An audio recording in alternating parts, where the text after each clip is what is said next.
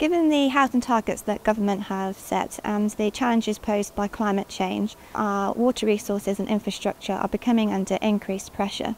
So if we are going to hit those housing targets, it's critical that we rethink our approach when it comes to water use and water resources. And that's where enabling water smart communities comes in.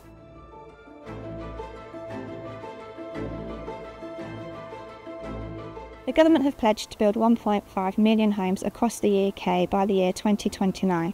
This is going to have a significant impact on our water resources across the country. The Enabling Water Smart Communities programme aims to address these challenges by providing tools to integrate water reuse and stewardship into these new housing developments. Good to meet you. One of the standout best-in-class examples of a water smart community is the Eddington development in Cambridge. The whole reason for Eddington being is for the university to provide accommodation for our key workers. And in the process of developing the scheme, we wanted to bring the very best in sustainability forward. So here's a very good example of how we integrated our suburban drainage design into our landscaping.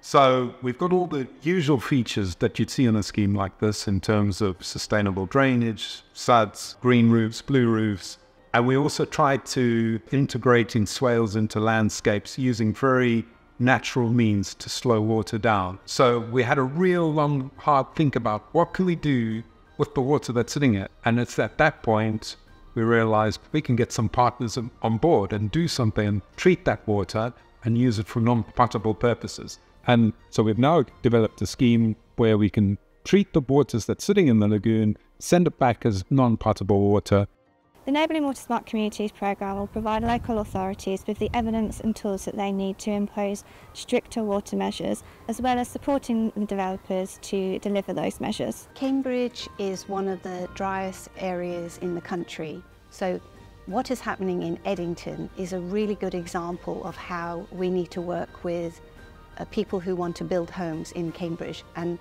we've worked very closely with Eddington to try and bring in the best sustainable urban drainage in the country. Using the water smart information and standards will help us conserve water and move into ensuring we have the best policies so that new buildings are the most water efficient as possible. We simply aren't able to build these homes without putting water conservation at their core and this is what Enabling Water Smart Communities is looking to deliver.